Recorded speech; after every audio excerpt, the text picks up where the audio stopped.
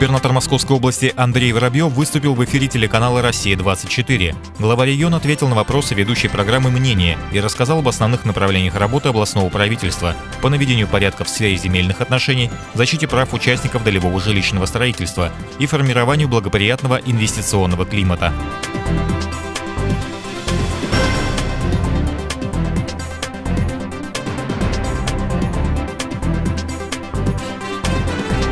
2 ноября в соответствии с утвержденным графиком по адресу город Видная, улица Школьная, дом 77, с 10 до 13 часов будет вести прием граждан представитель Министерства жилищно-коммунального хозяйства Московской области.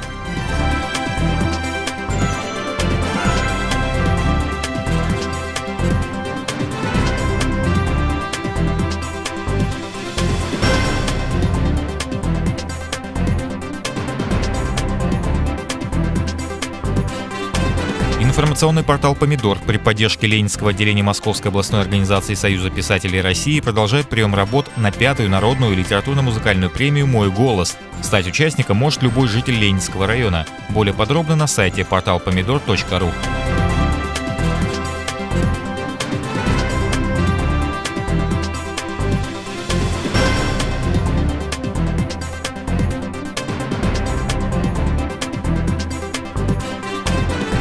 Продолжается льготная подписка на газету «Видновские вести». Всего 626 рублей 16 копеек, и целый год вы будете в курсе событий, происходящих в районе. Льготная подписка проводится по адресу город Видное, проспект Ленинского комсомола, дом 6А. Обращаем ваше внимание, что подписку на первое полугодие 2016 года можно оформить в любом отделении почты, но стоимость будет значительно выше.